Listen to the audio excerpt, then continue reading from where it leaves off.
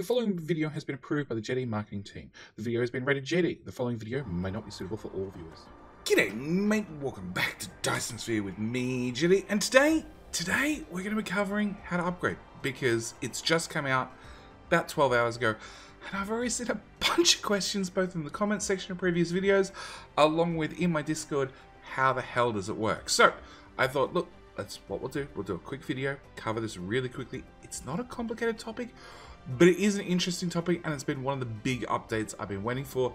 The devs have been super active, they've fixed a lot of things already and they said they get this one out before Chinese New Year which starts tomorrow I believe. So they're away for a week, so we're to hope there's no bugs, but with all that said, let's go through the actual upgrade planner itself. So, as you can see, I have three assembly machines, both a T1, a T2, and a T3 and a new little tool down here being upgrade facilities. Uh, and you might notice this is the first one on a keyboard. Most of the other ones are 1 through to 9. This is a U. Okay, so if we hover over something, we can see upgrade uh, upgrade assembly machine and hold shift to chain upgrade. Now, if I hold shift on an assembly machine, and upgrade, nothing happens. There's no there's no chain upgrade. At the same time, I can take a Mark II and convert it to a Mark III. You might notice a couple of things. The sorters, they didn't upgrade. The belts, they didn't upgrade. They're still whatever tier they were originally. They need to all be upgraded separately. So if we bring back up our upgrade planner, the other option we do have is we can press the down arrow to get a downgrade planner. So I can take this back to a tier, tier 2 and back to a tier 1. On top of that, five of them. Cool. If I bring this back up, set it back to downgrade, and I try to downgrade that assembly machine, you'll see it says lack of replacing item. So I can't downgrade something or upgrade something if I don't have it. Uh, same will apply to the tier 2 machines. Done. Uh, if I try to upgrade that, lack of replacing item. Now, I still have tier 3 uh, machines on me, so there's no way to skip from a tier 1 straight to a tier 3, which is a little bit unfortunate. Just expect more clicking. Expect more clicking. The game's in early access. There's lots of clicking involved. It's something we've sort of all come to love to hate or hate to love about Dyson Sphere. Um, but yes, if I upgrade this machine to a tier 3, I now definitely have a tier 2 in my inventory somewhere, right there, which means I can now upgrade that one to a tier 2, and then upgrade it again to a tier 3. On top of that, belts. Uh, let's do sorters first.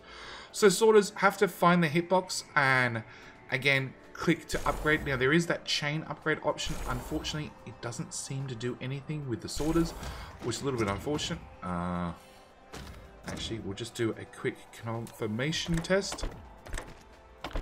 Uh, I'll have three of them coming out, attached to the same belt. And hold down shift. Nothing. Nothing.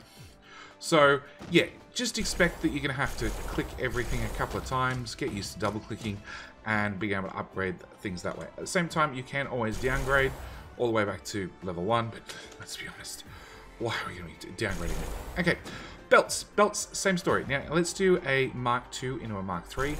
If I click, I can then drag either backward or forward, okay? But same with the deconstructing your belts. Once I start choosing a direction, I can't go in the opposite direction. Uh, on top of that, there is a way to, of course, downgrade back to the uh, back to the, the previous version.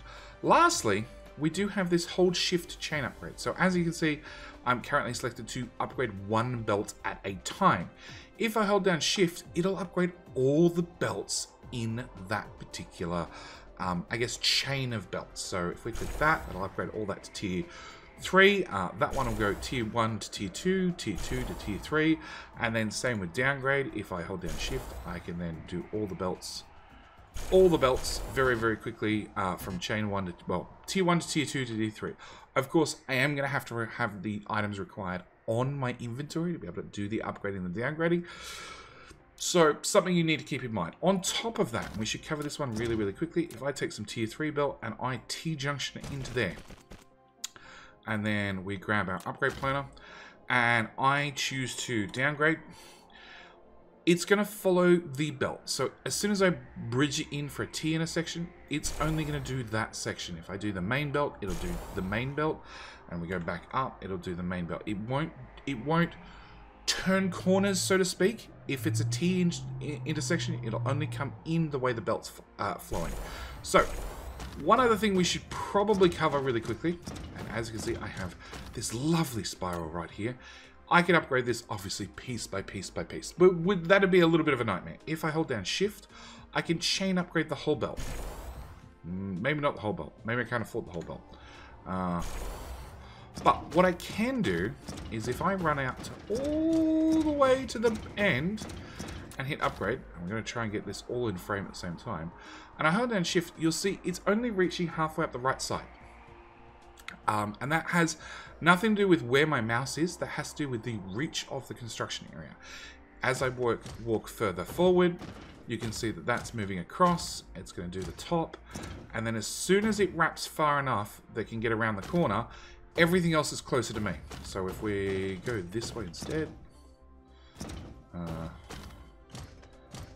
can I get a good spot? No. No. Ah, oh, there we go. So we can see now it's it's upgrading partially back up this belt. So you are going to have to make sure that you're in range of whatever belts you're deciding to upgrade. So if you are doing giant sky belts that flow across the map, you're going to have to definitely make sure that you make sure you maintain range of what you're upgrading and potentially follow those belts across the map because you know there's a good chance that you've made a little bit of spaghetti through your playthrough of Dyson Sphere. Um, I'm lucky enough, I'm actually on my Twitch map, and we've covered this a couple of times. This is my Cybertron. We've built everything here, because we didn't have an upgrade planner, at tier 3 tech. So everything here is using blue assemblers, it's all using blue sorters, it's all using blue belt, um, including the lasagna layers, which I'll do a separate video on that at some stage. But yes, this is all made T3. This has been the only T1 stuff and T2 stuff I've had on the map. Now, what I want to do is actually want to take you back to my existing base, my original base, my starter base, and show you how the upgrade planner does work very, very quickly to upgrade things around your base. Because let's be honest, um, you'll see it in a second. There's a little bit of spaghetti in my starter base. I welcome you back to my spaghetti. Yes, this is my first base. This is my original starter base. This is after 115 hours in the game. Most of it spent, uh, well, at least, I don't know, a quarter of it, a third of it spent building a whole new planet because, um, well, let's turn Icarus's light on and, um, yeah, you can look at the wonderful mess that I have made for myself. Uh, and without an upgrade planner, this was... It was quicker to rebuild than it was to fix this. Um, but now we have the power of the upgrade planner. We can now come through and we can, like, definitely upgrade assembly machines. Uh, oh. I've only got one T2 assembler on me.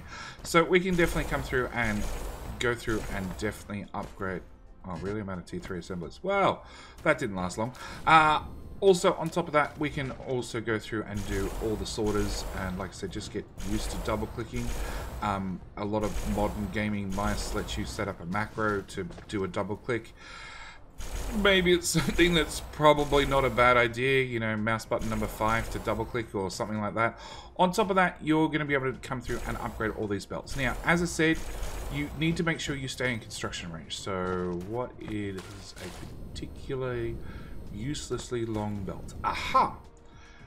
Uh, okay, we'll do that one. Hey, look, that's a belt and a half. So that comes into this smelter rack, and then whatever's left over obviously travels all the way over there for some reason and if I can get the right angle you can see it's only upgrading partly along. Anything past there is who knows.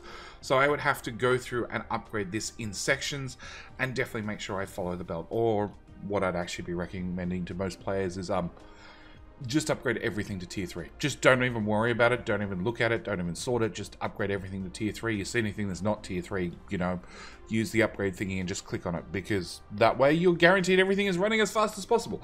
Um, on top of that, uh, you may notice that you can you can hover the upgrade planner over all sorts of things. You can hover it over, you know, smelters and and and um, miners and all sorts of things. It currently doesn't do anything. Maybe eventually we'll get a tier two smelter, um, but you can definitely upgrade the sorters both on the inner in and out along with the belts. On top of that, you're gonna, and this is something I'm really gonna recommend, and I will actually link down in the description and maybe probably even the top right hand corner as well my early early starter mall this is a earlier earlier version um, but this is what I've used for early to, through to mid game where I was handcrafting uh, assembly machines because honestly, I don't like the, the the increased power consumption of the assembly machine Mark II for what little speed increase it gets. It, it only goes up, the production speed goes up by about 0.3, about 30% faster but the power consumption is almost doubled. And then, of course, the assembly machine Mark III is double the speed of the assembly machine Mark I, and the power the power requirements are like three times as much, but really at the point you're getting assembly machine 3s, who really cares? You've probably got enough power from Dyson Spheres, Dyson Swarms, you know, mini suns, whatever it happens to be. So I do really, uh, I, I have built mine intentionally with, you know, boxes that are limited. So it means I can take all my Mark 1 belt, hold down control, click on it, and it will move from here to here.